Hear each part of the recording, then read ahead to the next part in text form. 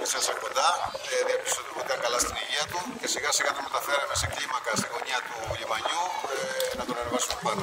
Εκεί το ΕΚΑΒ ανέλαβε την ιατρική, το ιατρικό έλεγχο. Ε, τον πήρε προληπτικά στο κέντρο υγείας για περαιτέρω εξετάσεις και αυτό είναι το τέλος της άσκησης. Έχει τελειώσει η άσκηση.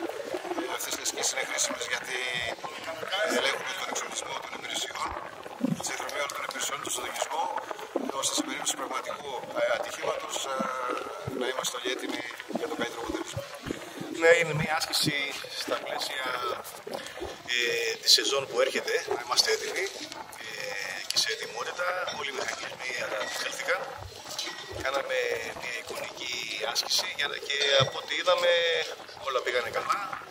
Όλοι οι μηχανισμοί ήταν ε, σε πολύ καλή κατάσταση και είμαστε έτοιμοι για τη σεζόν. Έχουμε να μην γίνει κάτι παραπλήσιο, τουλάχιστον εμείς είμαστε έτοιμοι.